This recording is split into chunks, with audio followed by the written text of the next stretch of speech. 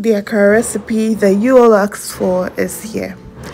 Hello best tribe. You're welcome to today's video. So on here i'm just listing all of the things that i used. Two cups of beans one bell pepper two medium-sized eggs one bulb of onions medium size one star maggi i'm going to use that teaspoon to measure my salt. Everything has to be moderately added now, my blender is no longer sharp, so I'm using the smoothie maker. I split them into two halves.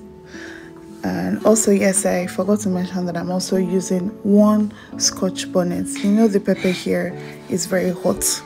So if where you are, the pepper is not so hot, please, you can use two.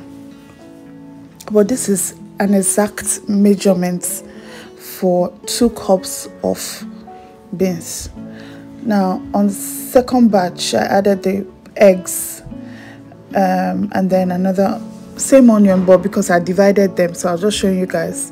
And I also added the salt. I like to add all the ingredients so that everything just you know have a good mix. Because I don't want to chew maggi in my food. That's the thing I hate the most you know so i like to blend everything seeing that it's not something we're cooking it's something we're frying so that's why. Now I've blended everything give this a very good mix. So at this point now you're putting in some air into the mixed into the mix. And then i've put in some oil in my hot pan. I'll put a bulb of onion. You know i feel like onion is the most underrated food cooking ingredients it's such a yummy, yummy, yummy um, ingredient to use to cook. It just does something to your food. Now I'm scooping this um, at the size that I actually want guys i wanted to do aesthetics. Now where i go bring this thing? A spoon i they used to do them normally. I bought this thing was now wanted to give my akara funny shape. I said i beg go what is this? Today when i want fame you know this video for blessed tribe now in this thing one come it want to disgrace me. Aesthetic is not for everybody. So i ditched that one at some point um, but yeah you can see the akara looks very good this is a staple in my house. Growing up we ate akara every saturday. I'm doing the same in my house now. See how good that is. Yeah this is where i picked my you know my tablespoon. Yeah this is a tablespoon not a teaspoon. But yeah just scooping that in scooping that in. So if um, this recipe is not it's not well explained enough. You can ask me in the comment section. I would answer you but i feel like if you use this you're going to make perfect akara. My mom used it. Her mom used it. So like this is a recipe that has passed on from generation to my from one generation to mine now. Um as far as i know i grew up seeing my mom do this this is the only way my mom makes akara. My siblings can testify, and that's the only way. I also, when I got married to my husband, I see that their family they used to like to buy akara. You know, the roadside akara a lot.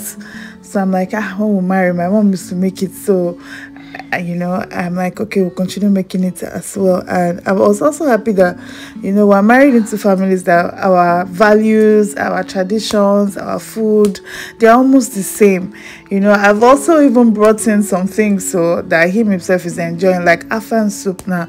It's not a traditional meal, but then we enjoy it because I used to eat it back in school, at school in Uniport. Afang soup was a soup there. You know, I learned it and he started to eat it as well. You know, so we're just and this house you know so we like food we way you know so when i'm cooking most times kay will always make the other thing. Maybe if it's rice and stew he would if i'm making the stew he will boil the rice. So for this one it was custard. He made the custard. I was just showing you guys what it looked like. And here we had gone to serve uh, eliora. So I, I cut the akara here and kay was putting in custard for her which she totally totally enjoyed. I feel like eliora ate up to four i don't know why this pikin dey shop i say she shop reach for because she finished this thing. She still went to take extra. She was still holding extra. Even though she doesn't like wearing babes so i don't bother wearing her anymore. The weather was quite cold if not i would have take, taken off the clothes that she was wearing you know but she made a mess. I don't mind. That's my work. I'm a caregiver for now till she's big enough. I don't mind doing it. I hope you enjoyed watching this video. Subscribe like